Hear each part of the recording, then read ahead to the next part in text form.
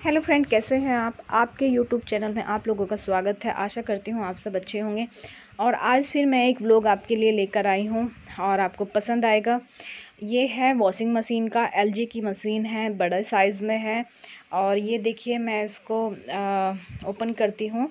इन unboxing करती हूँ। अब तक मैंने इसका अनबॉक्सिंग नहीं किया था, इसलिए नहीं किया था ताकि आप लोगों तक वीडियो पहुँचा सकूँ।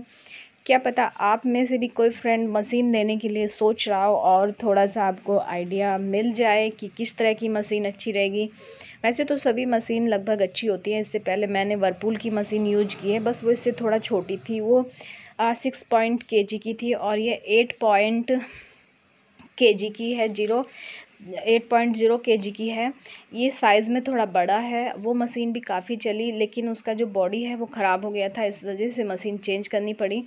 और ये इसके पाइप वगैरह हैं अभी पैक ही हैं खोला नहीं है। इसको अब हम सेट करेंगे। ये इसका वॉश धोने सुखाने का जो आ, एरिया है वो है। ये वॉशिंग का एरिया है। काफ़ी बड़ा है आप देख सकते हैं। साइज़ जो वॉशिंग का है, वो बड़ा है। काफ़ी कपड़े एक बार में डालकर आप धुल सकते हैं।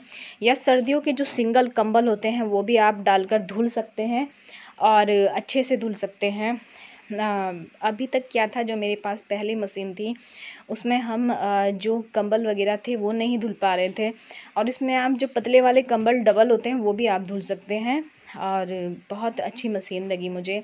ये देखिए, आप मैं डिटेल में दिखा सकती हूँ, ज़ीरो एट पॉइंट ज़ीरो के जी का है और सब इसके अलग अलग से मैं आपको एक एक आइटम पूरा खोल कर दिखा दिया है।